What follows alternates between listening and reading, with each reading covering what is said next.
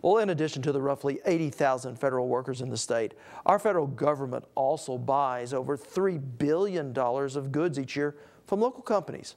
Our Alisa Hines takes us to the leading Native American defense manufacturer in the nation, Choctaw Defense.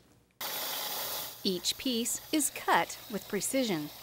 All of our machining operations happen in McAlester. Stephen Benefield is the managing officer for Choctaw Defense, a manufacturing company helping support our nation's military.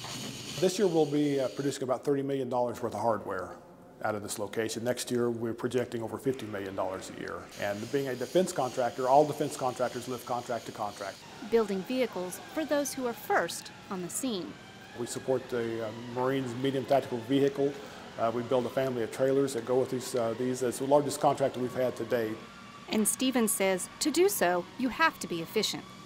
One thing that uh, we have really had a lot of success with is Oklahoma's Manufacturing Alliance on their lean initiatives that they've done, and that is through Career Tech. And uh, I think it's one of the most valuable programs that, uh, that I've seen a state-funded program or federally funded program do that actually that has really done more for us than, than any program we've ever worked with.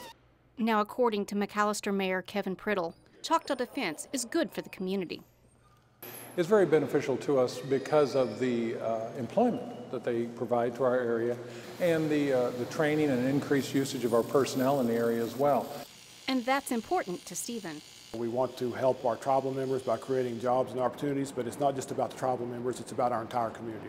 No better way to, you know, to, to improve a family than to, than to give the parents a good paying job, and that's, that's what we're all about. So from our nation's defenses to local residents, Choctaw Defense is building a support system that many will rely upon for years to come.